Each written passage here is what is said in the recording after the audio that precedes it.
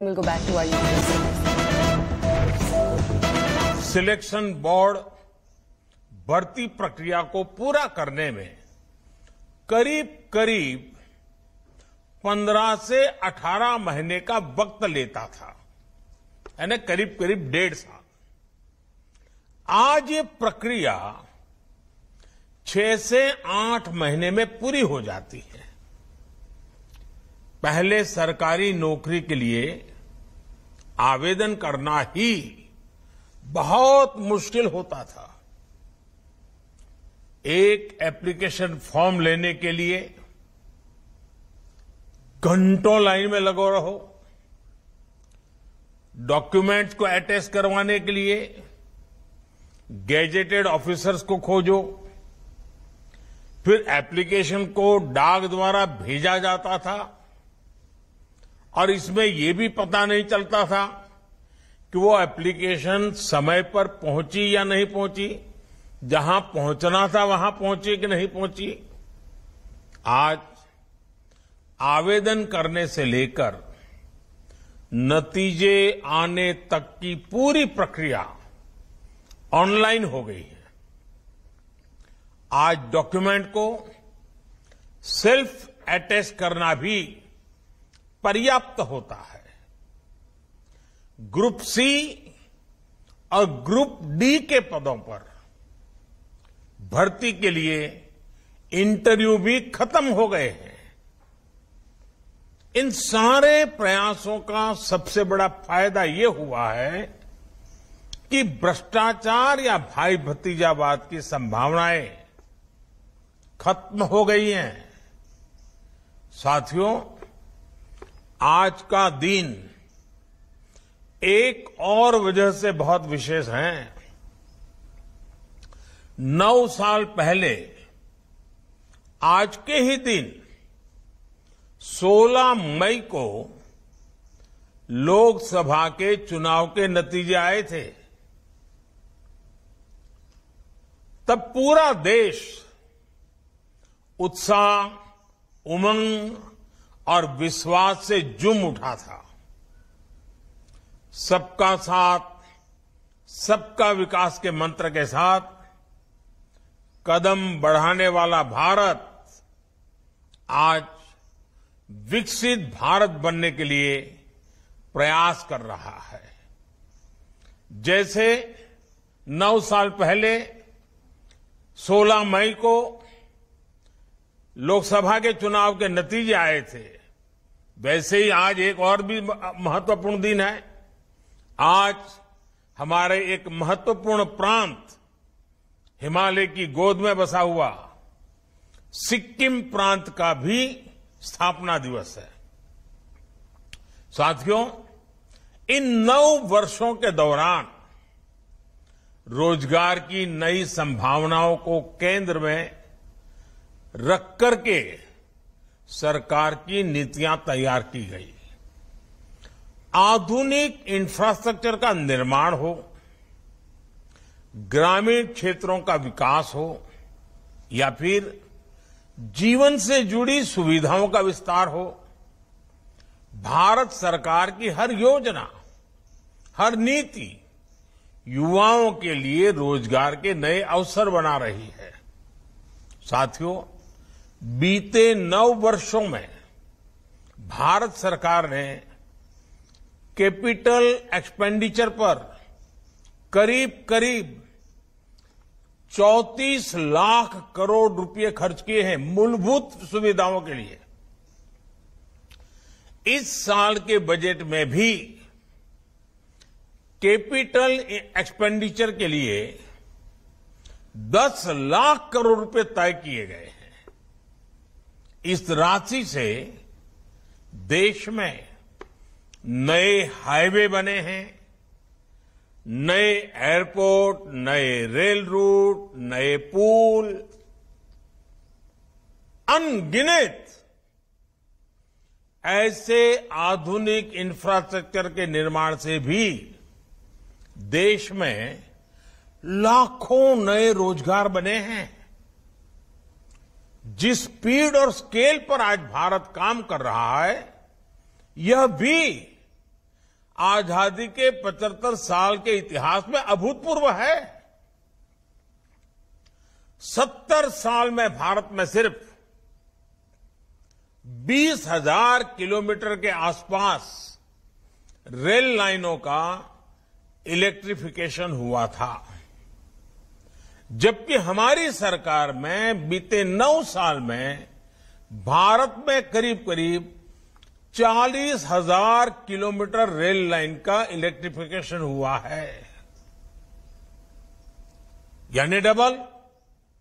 2014 से पहले हमारे देश में हर महीने सिर्फ़ 600 मीटर 600 मीटर नई मेट्रो लाइन बिछाई जा रही थी।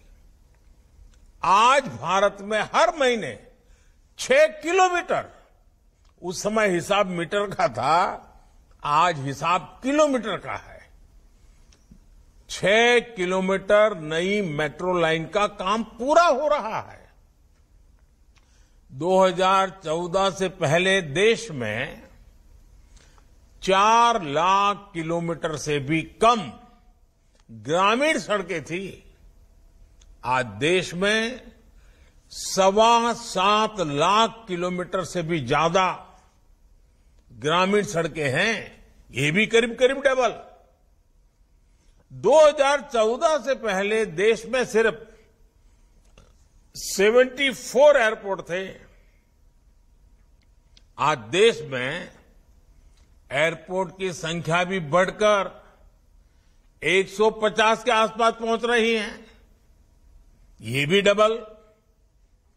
बीते नौ वर्षों में देश में गरीबों के लिए जो चार करोड़ पक्के घर बनाए गए हैं, उन्होंने भी रोज़गार के अनेक नए अवसर बनाए हैं। गाँव गाँव में खुले पाँच लाख कॉमन सर्विस सेंटर आज रोज़गार का बड़ा माध्यम बने हैं। युवाओं को विलेज लेवल एंटरप्रेनर्स बना रहे हैं। गाँवों में तीस हज़ार से ज़्यादा पंचायत भवन बने हैं या फिर नौ करोड़ घरों को पानी के कनेक्शन से जोड़ना। ये सभी अभियान बड़े पैमाने पर रोज़गार पैदा कर रहे हैं। देश में आ रहा विदेशी निवेश हो या फिर भारत से रिकॉर्ड एक्सपोर्ट, ये देश के कोने कोने में रोज़गार के अवसर बना रहा है। साथियों, बीते नौ वर्षों में nature of job. Nature of job में भी बहुत तेज़ी से बदलाव आया है। बदलती हुई इन परिस्थितियों में युवाओं के लिए नए सेक्टर्स उभर कर आए हैं। केंद्र सरकार इन नए सेक्टर्स को भी निरंतर सपोर्ट कर रही है। इन नौ वर्षों में देश ने स्टार्टअप कल्चर की नई क्रांति देखी है। 2014 में देश में जहाँ कुछ सौ स्टार्टअप थे, वहीं इनकी संख्या आज एक लाख स्टार्टअप तक पहुँच रही है। और अनुमान ये है कि इन स्टार्टअप ने कम से कम 10 लाख युवाओं को रोज़गार दिया है। साथियों, इन नौ वर्षों में देश ने कैब एग्रीगेटर्स, यानी ऐप के ज़रिए टैक्सी को भारतीय शहरों की नई लाइफलाइन बनते देखा है। इन नौ वर्षों में ऑनलाइन डिलीवरी का एक ऐसा नया सिस्टम तैयार हुआ है जिसने लाखों युवाओं को रोज़गार दिए हैं, इन नौ वर्षों में ड्रोन सेक्टर में नया उछाल आया है। फर्टिलाइज़र के छिड़काव से लेकर दवाइयों की सप्लाई तक में ड्रोन का इस्तेमाल बढ़ रहा है। इन नौ वर्षों में सिटी गैस डिस्ट्रीब्यूशन सिस्टम 60 शहरों से आगे बढ़कर 600 से भी ज़्यादा शहरों में पहुँच गया है। साथियों, बीते नौ वर्षों में भारत सरकार ने मुद्रा योजना के तहत 23 लाख करोड़ रुपए देश के युवाओं को दिए हैं। इस राशि से किसी ने अपना नया व्यापार कारोबार शुरू किया है। किसी ने टैक्सी खरीदी है, किसी ने अपनी दुकान का विस्तार किया है, और इनकी संख्या लाखों में नहीं। मैं गर्व से कहता हूँ, ये संख्या आज करोड़ों में है। करीब करीब आठ से नौ करोड़ लोग ऐसे हैं जिन्होंने मुद्रा योजना की मदद से पहली बार अपना स्वतंत्र काम शुरू किया है। आज जो आत्मनिर्भर भारत अभियान चल रहा है, उसका भी आधार देश में मैन्युफैक्चरिंग के माध्यम से रोज़गार का निर्माण करना है। पीएलआई स्कीम के तहत केंद्र सरकार मैन्युफैक्चरिंग के लिए करीब दो लाख करोड़ रुपए की मदद दे रही है। ये राशि भारत को दुनिया का मैन्युफैक्चरिंग हब बनाने के साथ ही लाखों युवाओं को रोज़गार में भी सहायता करेगी। साथियों, भारत के युवाओं के पास अलग अलग सेक्टर्स में काम करने की स्किल रहनी बहुत ज़रूरी है। इसके लिए देश में उच्च शिक्षा संस्थानों, कौशल विकास संस्थानों का भी युद्ध स्तर पर निर्माण हो रहा है। साल 2014 से 2022 के बीच हर साल एक नया आईआईटी और एक नया आईआईएम तैयार हुआ है। पिछले नौ वर्षों में औसतन हर हफ़्ते एक यूनिवर्सिटी और हर दिन एवरीडे दो कॉलेज खोले गए हैं। हमारी सरकार आने से पहले देश में 720 के आसपास यूनिवर्सिटी थी। अब इनकी संख्या बढ़कर 1100 से ज़्यादा हो गई है। सात दशकों में देश में सिर्फ़ सात एम्स तैयार किए गए थे। पिछले नौ वर्षों में हम पंद्रह नए एम्स बनाने की तरफ़ बढ़े हैं। इनमें से कई अस्पतालों ने अपनी सेवाएँ देनी भी शुरू कर दी है। 2014 तक पूरे देश में 400 से भी कम मेडिकल कॉलेज थे। आज इनकी संख्या लगभग 700 हो चुकी है। कॉलेज बढ़े तो स्वाभाविक तौर पर सीटों की संख्या भी बढ़ी है। युवाओं के लिए उच्च शिक्षा की पढ़ाई के अवसर बढ़े हैं। साल 2014 से पहले हमारे देश में एमबीबीएस और एमडी की सीटें सिर्फ़ अस्सी हज़ार के आसपास ही होती थी। अब देश में एमबीबीएस और एमडी की सीटें बढ़कर एक लाख सत्तर हज़ार से भी ज़्यादा हो गई है। साथियों, किसी काम के लिए कौशल का विकास करने में हमारी आईटीआईज ये भी महत्वपूर्ण भूमिका निभा रही है। बीते नौ वर्षों में देश में लगभग हर रोज एवरीडे एक नई आईटीआई का निर्माण किया गया है। आज देश की करीब पंद्रह हज़ार आईटीआईज में देश की नई जरूरतों के मुताबिक नए कोर्सेज शुरू किए जा रहे हैं। पीएम कौशल विकास योजना के तहत अब तक सवा करोड़ से ज़्यादा युवाओं को स्किल ट्रेनिंग भी दी गई है।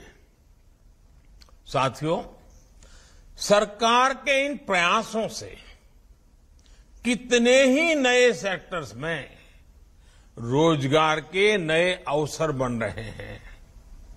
मैं आपको सिर्फ़ एक उदाहरण देना चाहता हूँ ईपीएफओ का।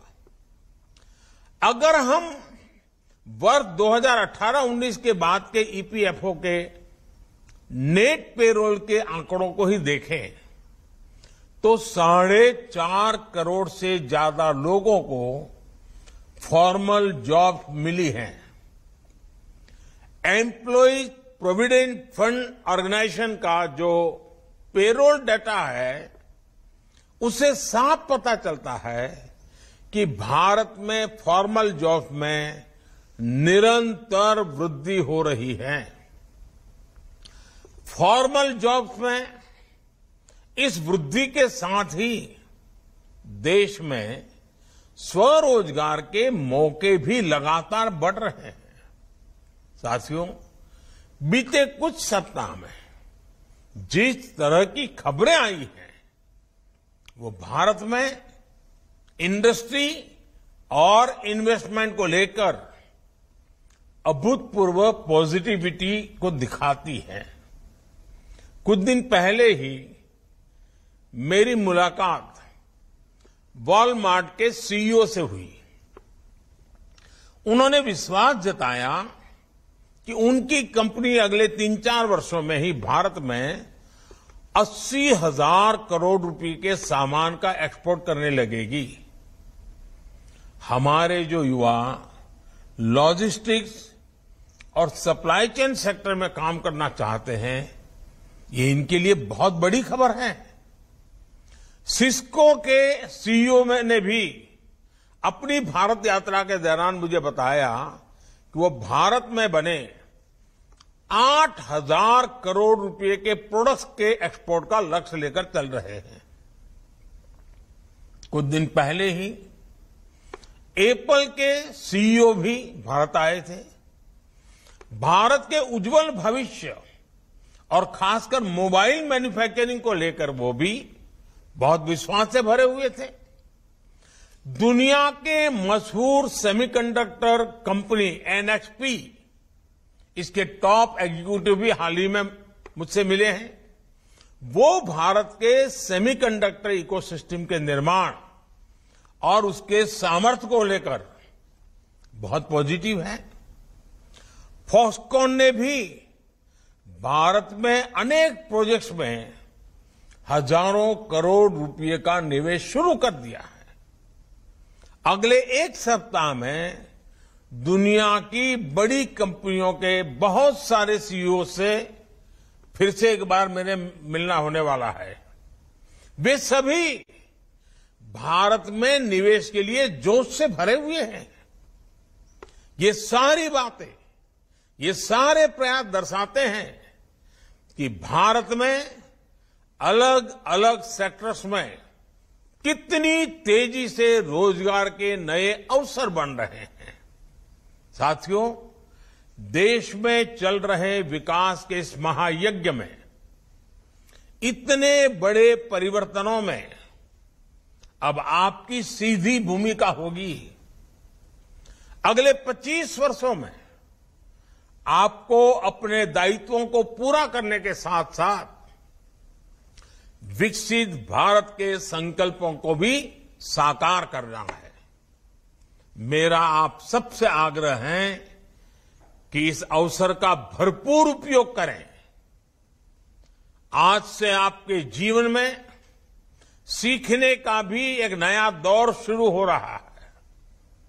सरकार का बहुत ज़ोर अपने कर्मचारियों के नए स्किल डेवलपमेंट पर भी है।